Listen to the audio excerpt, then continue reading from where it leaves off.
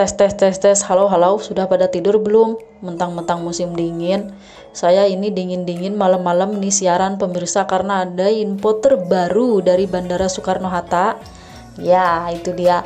Jumpa lagi dengan channelnya Pelangi Hidup yang akan mengupas habis tentang kehidupan pekerja migran Indonesia ataupun berita-berita lainnya juga atau kehidupan sosial lainnya. Semoga bermanfaat dan menambah wawasan buat kita semuanya. Nah, pemirsa, malam-malam saya ini ya, aduh, ini apa namanya?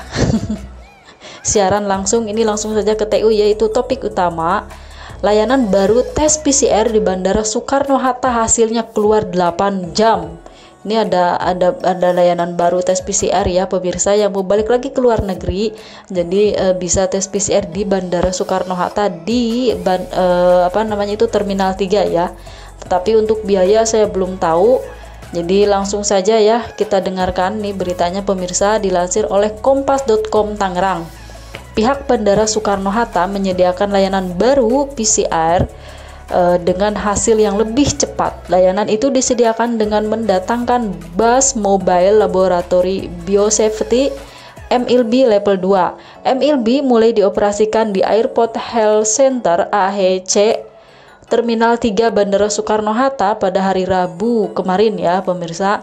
Presiden Direktur PT Angkasa Pura II Muhammad Awaludin mengatakan kehadiran MLD level 2 itu akan melengkapi fasilitas tes COVID-19 lainnya di Bandara Soekarno-Hatta. Kami bersyukur sekali ada MLB level 2 di Terminal 3, sehingga adanya MLB level 2 ini sangat membantu Bandara Soekarno-Hatta dalam melayani PCR test secara cepat, kata dia ketika dikonfirmasi hari Kamis, jadi sore ya tadi. Awaludin menjelaskan Spesimen PCR test dapat langsung diperiksa di MLB level 2 tanpa harus dibawa ke laboratorium yang berada di luar area bandara sehingga hasilnya dapat diketahui lebih cepat.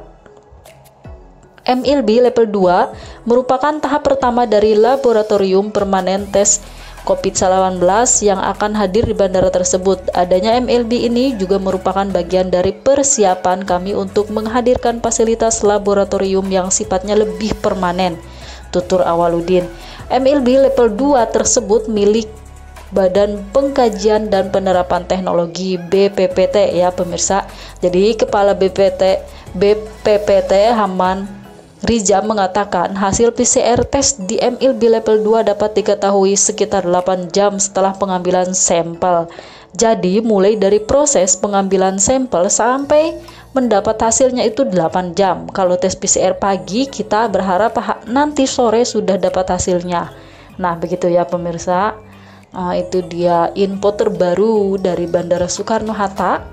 Hmm, yang bingung mau tes PCR di mana di Bandara Soekarno Hatta, sekitaran Bandara Soekarno Hatta. Nah, sekarang ini ada pelayanan baru dari uh, apa namanya MLB level 2 ya pemirsa dan di sini saya lihat-lihat nih, saya cari-cari beritanya, info-info lain tidak tertera biayanya berapa. Nah, jadi saya belum tahu silahkan.